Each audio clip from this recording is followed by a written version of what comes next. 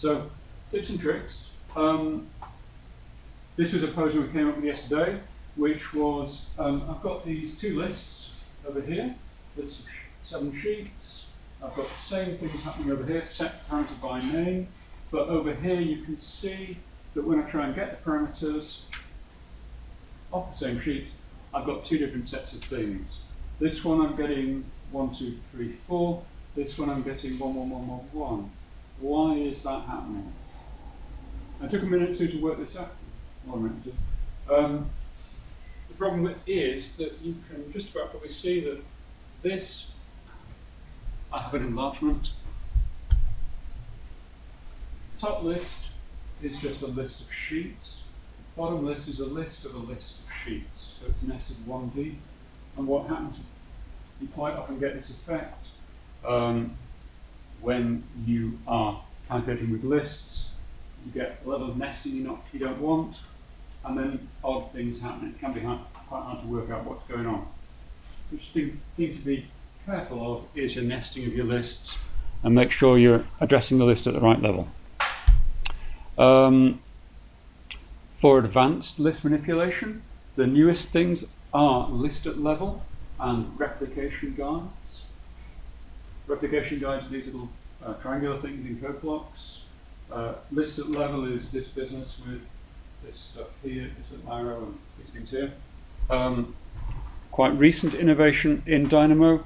You can do a lot with them. There is a uh, Dynamo blog about that on the Dynamo website, about the list at level.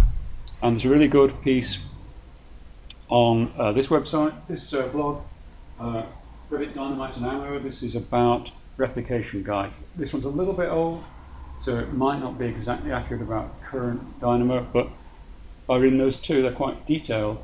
You'll get a really good grip of how to use those two features.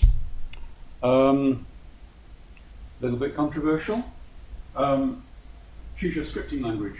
There is Design Script, which is what is in code blocks, and that's what Dynamo is built on. So all Dynamo nodes get converted into Design Script and then executed.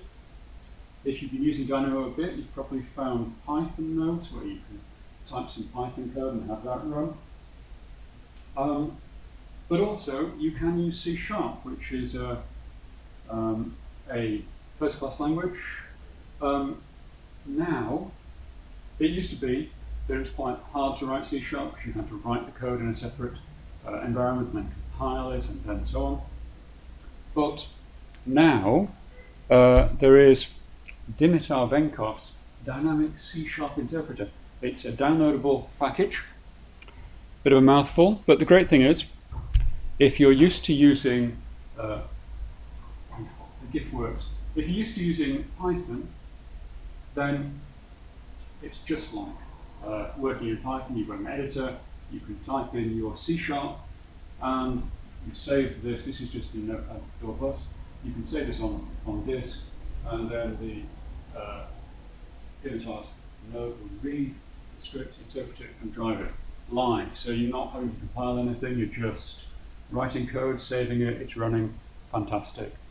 And for me, uh, the nice thing is again, controversial, but design script's great. But the only place you can use design script is inside Dynamo. Um, Python's great, but there's not a great deal of documentation around. Um, it's a fairly basic script editor. Uh, C Sharp, you can go a lot of places with C Sharp. If you're really interested in scripting and coding for Revit, for Dynamo, then learning C Sharp is probably not, well, I would suggest, it's not a bad idea. There's a lot of power, and you can go an awful, awful lot of different places with it. That's particularly with Dimitar's nice node. That's me done, and it's Sam with some more.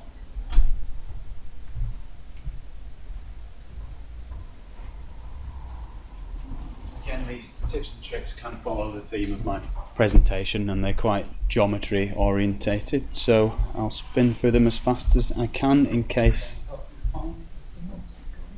Yeah.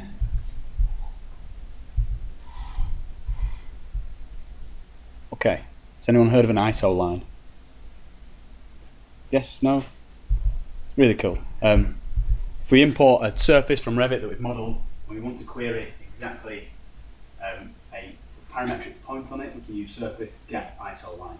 And we can specify the U and the V and add a number slider to query what this surface look, looks like along the U. It's horizontal representation there, or V is vertical representation. We plug V, shows you what the other end looks like. And we can just assess that shape along its length to work out how efficient it is. Uh, interestingly, if we feed a list of 0 and 1 into the ISO direction, we can make a grid. We can start to assess very, very simply what a rationalised version of this shape would actually look like if we were to take uh, no- normalised divisions of said shape. Using a number slider, you can quite easily see whether or not the thing that you're making is pragmatic or ridiculous. It's quite an easy visual uh, aid for subdivision of surfaces. That's anything that you get into regularly. But ISO line, they're very, very good. That's a, a built-in stuff. Um, number two is a similar idea, but instead of using um, regular surface subdivisions, we're going to use points to assess our subdivisions. So we specify some x points and some y points, and they exist from minus 35,000 to 35,000 and from 25,000 at minus 25,000 to 25,000. And we have a vector in the draws a straight line up from there. And we have a vector the y, which draws a straight line up from there. And we can use cool nodes of geometry to intersect or chop this surface up into its constituent parts, which you'll see in a second when I unfreeze the node. Uh, this is a much more computationally heavy version of subdivision of surfaces, but it's a very accurate one, so we can specify exactly where these points are. And you can see with these lines thrown up, the surface very, very rationally. So it's useful for getting non, non-normalized uh, distribution along the surface. So maybe useful, maybe not. Uh, the last two that I've got, one is um, Eduardo P. Rocker, I believe he's called, very active on Dynamo forums a couple of years ago, and he has a detailed profile node, which allows us to draw on a detailed view zero zero. It's important to it has to be zero on. Um, any kind of profile that we want to just straight up bring into Dynamo. So I'm sketching a bit of a mullion profile here, nice and straightforward. And I want to use this for lofting. I want to get it in relative to zero really quickly, so I know exactly where it is. So I can select these elements, and voila, it pops up as a polycurve. It's a patched polycurve, so it's a perfect thing for making extrusions from. Really, really robust. And we move it up and down in the view, and it moves relative to zero Dynamo. So zero quite things. Uh, the final one is a similar uh, kind of intervention. This is from Archilab, and it shows polycurve by profile family type. Now, if you draw a profile softening, it's always in the family, and you never get to see it again. This is a cool way of visualizing the sketch geometry. So we can select a family type, which you can't see at the moment, but I'm selecting that one, and I'm piping the family type into family type, running it, and you can see that it's, it's, it's extracting the sketch geometry from within that particular family and projecting it at zero into Dynamo. So we can then use that for all kinds of cool stuff. Uh, it breaks it down into polycurve and each of the segments in polycurve.